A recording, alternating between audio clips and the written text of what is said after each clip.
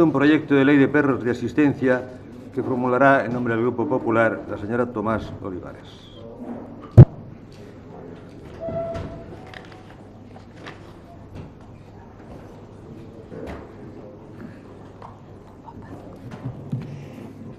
Eh, gracias, señor presidente.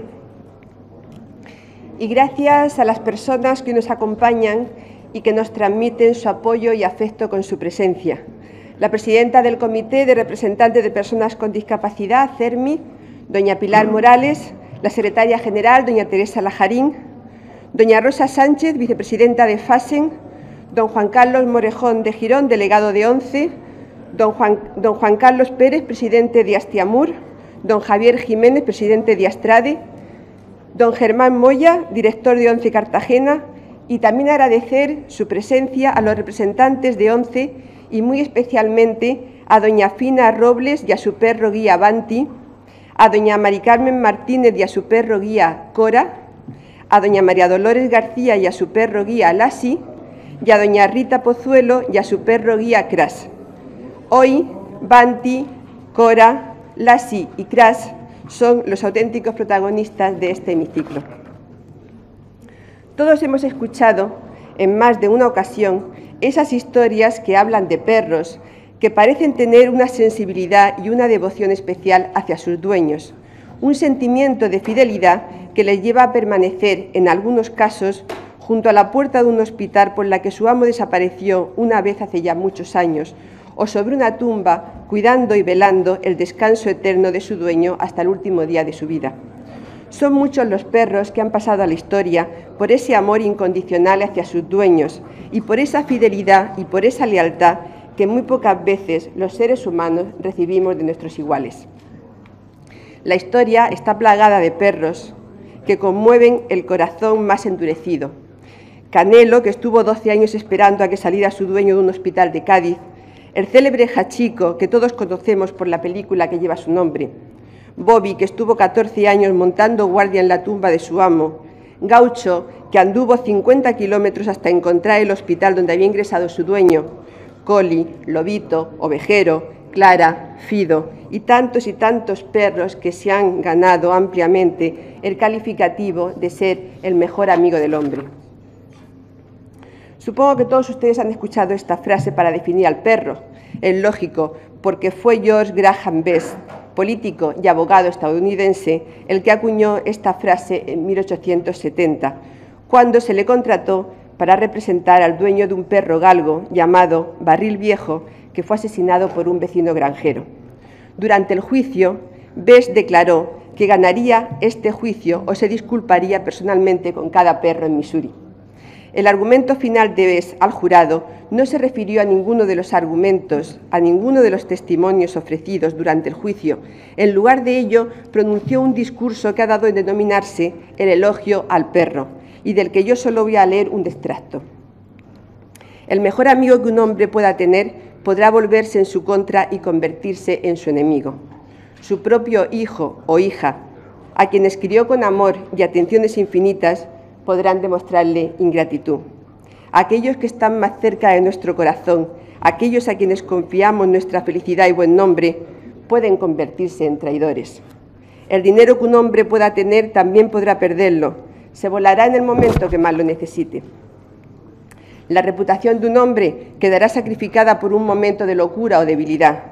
Las personas que están dispuestas a caer de rodillas para honrar nuestros éxitos serán los que arrojen la primera piedra cuando el fracaso coloque nubes sobre nuestro porvenir. El único, absoluto y mejor amigo que tiene el hombre en este mundo egoísta, el único que no lo va a traicionar o negar, es su perro. El perro de un hombre está a su lado en la prosperidad y en la pobreza, en la salud y en la enfermedad. Dormirá en el frío piso donde sopla el viento y cae la nieve, solo para estar junto a su amo. Besará la mano aunque no tenga comida para ofrecerle, lamerá las heridas y amarguras que produce el enfrentamiento con el áspero mundo. Si la desgracia deja a su amo sin hogar y amigos, el confiado perro solo pide el privilegio de acompañar a su amo para defenderle contra todos sus enemigos.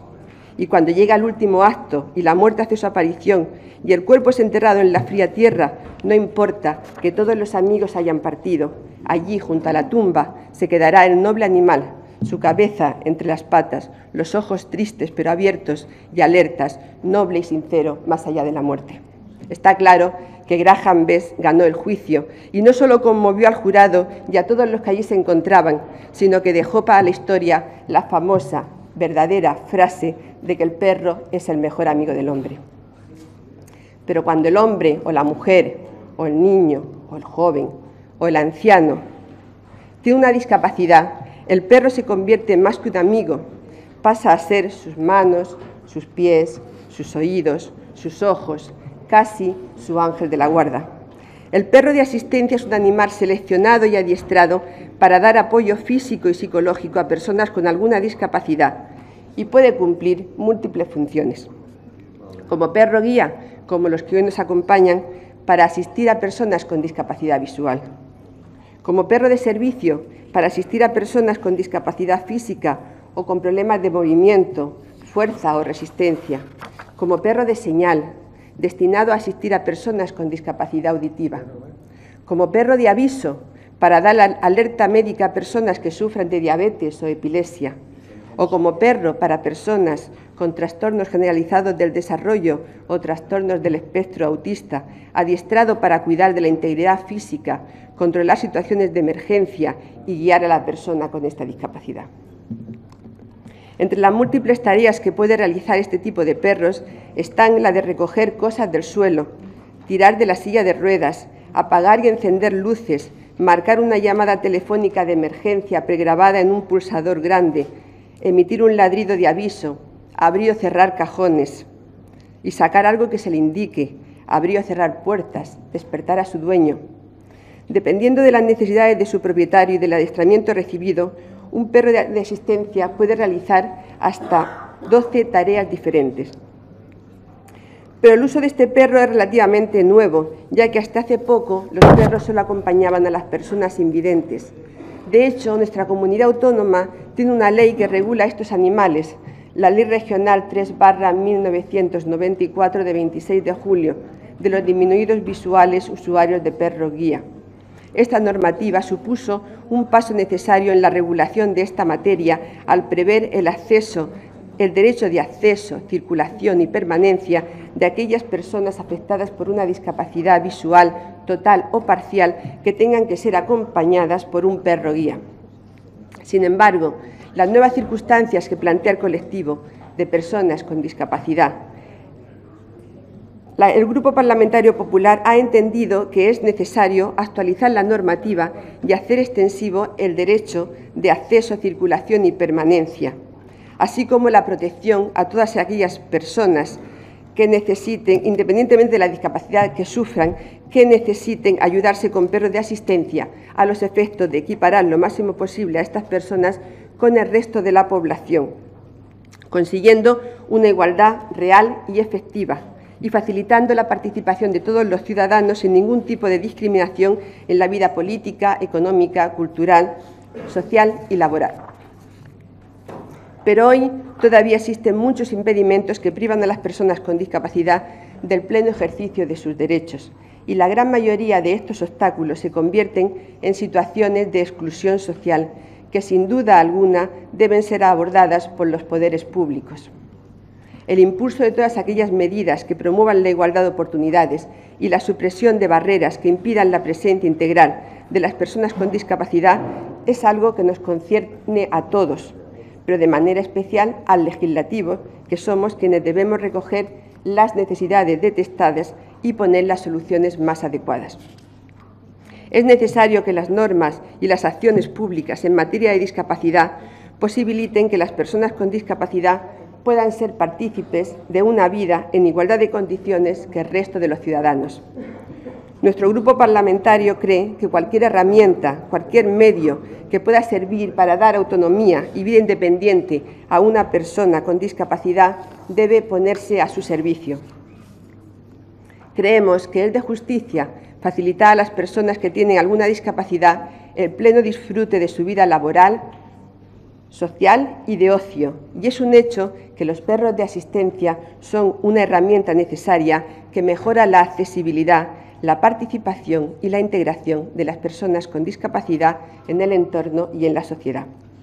Por eso, hoy presento esta moción como portavoz de mi grupo parlamentario en la que instamos al Gobierno regional a que elabore una ley, un proyecto de ley de perros de asistencia, de manera que quede definida la condición de este tipo de perros, estableciendo los derechos y obligaciones de sus usuarios y regulando las actividades de adiestramiento, cuidado y control de dichos animales con el fin de garantizar a las personas con alguna discapacidad visual, auditiva, física o que padecen trastornos del espectro autista, también con diabetes, epilepsia o alguna otra enfermedad, su derecho de acceso al entorno cuando vayan acompañados de un perro de asistencia.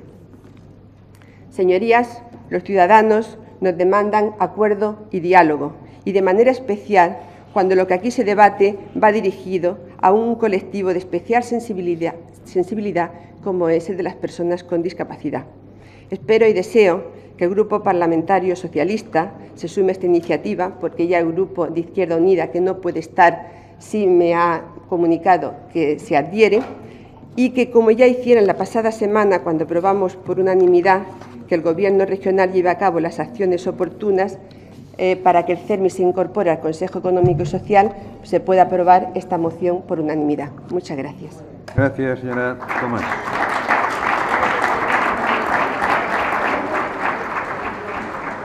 La, la señora Rosique, en nombre del Grupo Parlamentario Socialista, tiene la palabra. Sí, gracias, señor presidente. Señorías, buenos días y, en primer lugar, dar la bienvenida de nuevo a todos los representantes del CERMI que esta mañana nos vuelven a acompañar para el debate de una moción muy importante para las personas con discapacidad. No voy a entrar en relatar qué es un perro de acompañamiento, de asistencia, porque ya lo ha hecho la señora Tomás y además eh, de manera muy poética en alguno de sus, de sus tramos de intervención. Por lo tanto, eh, no voy a incidir en, definirlo. Sabemos eh, la importancia que tiene este instrumento, digámoslo así, para las personas con discapacidad, la ayuda, apoyo, acompañamiento y auxilio. Y el Grupo Parlamentario Socialista, no les quepa la menor duda, que mm, apoya e incluso eh, propone en los ámbitos que corresponden medidas que sirvan para ayudar al apoyo, a la asistencia, a la integración de las personas con discapacidad en nuestra comunidad autónoma. Por lo tanto, definido ya lo que vamos a debatir hoy, lo que vamos a aprobar hoy, que es pedirle al Gobierno regional un proyecto de ley para regular la situación de los perros de asistencia en nuestra comunidad autónoma, es decir, dar un paso más en la regulación, en la normativa que tenemos, yo quiero aprovechar la presentación de esta moción para hacer una reflexión a los grupos parlamentarios eh, de la Cámara. Señorías, son muchos ya los acuerdos que los grupos parlamentarios de la Asamblea Regional hemos tomado de apoyo a las necesidades, reivindicaciones de las personas con discapacidad, de sus organizaciones, de sus federaciones. Hemos sido capaces de llegar a acuerdos que en otras materias a veces es muy dificultoso y existe realmente dificultades para poder llegar a ellos. Sin embargo, en materia de discapacidad hemos sido capaces de ponernos de acuerdo en los tres grupos parlamentarios. Pero la reflexión que yo quiero hacer es que, más allá de los acuerdos que tomemos en esta Asamblea Regional, la gran asignatura pendiente es que cuando esta Asamblea se posiciona, reivindica y pide al Gobierno regional respuesta a esas necesidades, no hay respuesta por parte del Gobierno regional en la mayoría de los casos. Pudimos comprobarlo el otro día con la comparecencia de la presidenta del CERMI en la Comisión Especial de Discapacidad, cuando hizo un repaso exhaustivo de las 27 resoluciones aprobadas por la Asamblea Regional y donde el cumplimiento era prácticamente nulo, más allá del avance, yo diría todavía tibio, que se ha producido en materia de salud mental. Basta con leerse el diario de sesiones para comprobar que seguimos con grandes asignaturas pendientes y, sobre todo, con una asignatura pendiente que la resume a todas, y es que el Gobierno regional tiene que abrir los oídos y comprometerse con la demanda que desde la Asamblea Regional le hacemos los tres grupos parlamentarios. Si somos capaces los tres grupos de ponernos de acuerdo en materia de discapacidad, no puede permanecer el Gobierno regional ajeno a esas reivindicaciones. Eso en cuanto a las 27 resoluciones. Hoy pedimos un nuevo proyecto de ley al Gobierno regional en materia de discapacidad, pero no es el primero, señorías. Tenemos solicitada la ley de accesibilidad. Hace año y medio que vino el consejero, el entonces consejero de Obras Públicas, y en presencia del presidente del CERMI nos reunió a los tres grupos parlamentarios y nos presentó el borrador de proyecto de ley de accesibilidad. Año y medio. Y todavía no ha llegado ese proyecto de ley a la Asamblea Regional. Una reivindicación de las personas con discapacidad es la ley de lengua de signos. Hemos pedido los tres grupos parlamentarios la ley de lengua de signos. Todavía no ha llegado por parte del Gobierno regional la ley de lengua de signos a la Asamblea Regional. La semana pasada solicitábamos la modificación de la ley de creación del Consejo Económico y Social. Hombre, yo no voy a pedir que en una semana el Gobierno regional eh, se deprisa, pero estaremos a la espera a ver si es capaz. Y hoy volvemos a pedir otro proyecto de ley al Gobierno regional, que esperamos, que esperamos no siga, no siga la dilatación de respuesta que en los anteriores proyectos de ley que le hemos reclamado el Gobierno regional está realizando.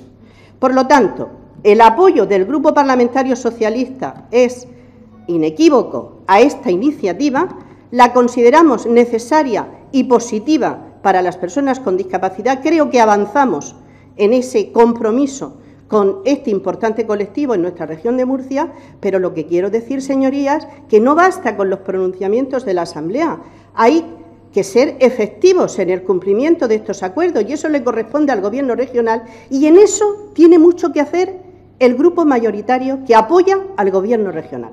Ahí tiene mucho que hacer este grupo mayoritario para que se hagan efectivos los acuerdos que se toman en la Asamblea eh, Regional. Y quiero acabar diciendo, termino ya, señor presidente. Miren, la Asamblea Regional, entre sus competencias, está la de impulsar la acción del Gobierno, que es lo que hoy estamos haciendo, pidiéndole al Gobierno que traiga un proyecto de ley. Pero tenemos una competencia importantísima, la capacidad de legislar. Los grupos parlamentarios podemos hacer nuestras propias proposiciones de ley, sin esperar a que el Gobierno regional las traiga. Y ese es el compromiso que hoy quiere hacer el Grupo Parlamentario Socialista. Si se sigue dilatando la respuesta del Gobierno regional en materia de accesibilidad o de lengua de signo o en la ley que hoy le pedimos y reclamamos, el Grupo Parlamentario Socialista propondrá que se cree una ponencia en la Asamblea Regional y que los tres grupos parlamentarios legislemos y demos respuesta a la demanda que las personas con discapacidad nos están haciendo, sencillamente porque tenemos competencia para ello. Gracias, señor presidente. Gracias, señora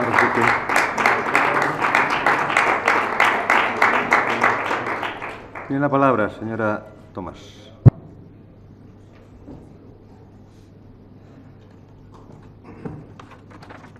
Gracias, señor presidente. Bien, pues señora Rosique, lógicamente me tengo que dirigir a usted porque el señor Pujante no está y por tanto ha sido su intervención la única. Vamos a ver. El diario de sesiones está y ahí nos podemos remitir, como usted ha dicho, cuando hace unos días tuvimos la comparecencia de la presidenta del CERMI. Y en ese y en ese diario está la intervención de mi compañera, que además se estrenaba como portavoz y que lo hizo maravillosamente bien, Ana Guijarro, donde decía todo lo que, no todo porque no daba tiempo en el, tiempo que disponía, pero sí lo que se había hecho en materia de discapacidad en relación a las eh, resoluciones que aprobó esta Cámara, que eran muchas. Que es cierto y además reconocía que aún nos queda por hacer, si es que es lógico que no, podamos, que no se haya podido abordar todas las resoluciones, eran 27 resoluciones, señora Rosique, muchas, algunas de ellas llevaban incluso 10 apartados. Es lógico que el Gobierno regional esté trabajando, que todavía haya eh, cuestiones que se vayan a conseguir ya, pero que todavía cuando eh, compareció la señora presidenta del CERMI no se habían conseguido. Señora Rosique, este gobierno está trabajando, no pierde ni un solo segundo en seguir trabajando por las personas con discapacidad. Eh, hay muchos avances en esta región que además somos pioneros comparado con otras comunidades autónomas. ¿Que queda por hacer? Claro que queda por hacer por Dios, pero es que en todas las comunidades autónomas queda por hacer, porque es mucho lo que se pide, porque es mucho lo que se necesita, porque es mucho lo que se hace falta en materia de discapacidad. Pero somos una comunidad autónoma que damos envidia a otras comunidades autónomas por cómo estamos en materia de discapacidad, que hemos sido pioneras en muchísimas cuestiones, como es el tema de la atención temprana, como es el tema de los SEPAP para personas con discapacidad, como son muchísimos temas que además el CERMI Nacional ha reconocido y ha premiado a este presidente, que ya no lo es, pero que lo ha sido de 19 años, Ramón Luis Valcarce, por sus políticas en beneficio de las personas con discapacidad. Solo dos presidentes de toda España están premiados por el CERMI, que no creo que sea sospechoso de ser del Partido Popular. Un presidente es el, anterior de Extremadura y el otro es Ramón Luis Valcárcer. Por tanto, mm, a mí me parece, señora Rosique, que es cierto que queda por hacer, pero que siempre con la espada levantada, pues tampoco es así. Yo entiendo que usted aprovecha cualquier micrófono que le den, que es lógico, usted es la oposición, y aproveche cualquier micrófono para dar caña al Gobierno, pero mm, mire lo que le digo, el Gobierno está haciendo su trabajo y está haciéndolo bien. ¿Que queda por hacer? Sí. ¿Que nosotros estamos pendientes de que lo que queda por hacer se haga y salga adelante? También pero que el Gobierno no se ha dormido en los laureles se lo puedo garantizar. La ley de accesibilidad, ya lo dijo la, diputada Ana Guijarro, está pendiente del dictamen del CES, por eso tiene que incorporarse el CERMI al CES para que, para que agilice las cuestiones que, que, son relativas a la discapacidad, pero hasta que no tenga el dictamen del CES no puede entrar en la Asamblea Regional, y usted lo sabe. Y eso también lo dijo Ana Guijarro y muchas otras cuestiones que, bueno, pues tampoco es cuestión porque me queda muy poco tiempo y no se pueden abordar. Lo que sí quería decir es que agradezco que usted apoye, que apoye también, señor Pujante, esta ley, que vuelva a salir con el consenso de todas las fuerzas políticas, que desde luego el, el Gobierno va a empezar a trabajar mañana en esta ley y que, por tanto, hoy damos ese pistoletazo de salida que dentro de unos meses una persona con discapacidad, sea la que sea, que necesite un perro de asistencia, pues pueda entrar en cualquier lugar donde podemos entrar los demás, en un restaurante, que pueda entrar a una piscina, que pueda entrar a un parque de atracciones o que pueda entrar a una iglesia, en cualquier sitio, porque ese perro eh, de asistencia no será tratado como un perro, sino como un asistente de una persona con discapacidad que es necesario.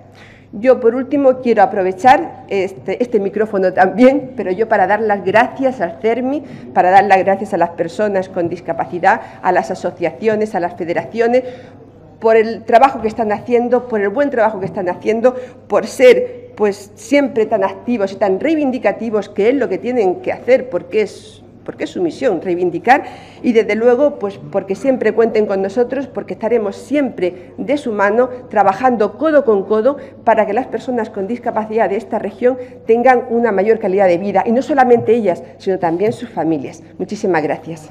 Gracias,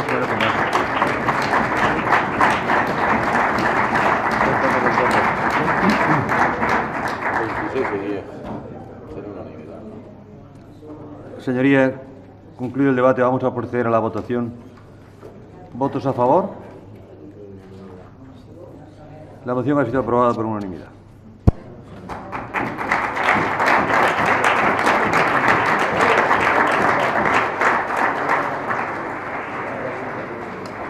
Siguiente punto del orden del día.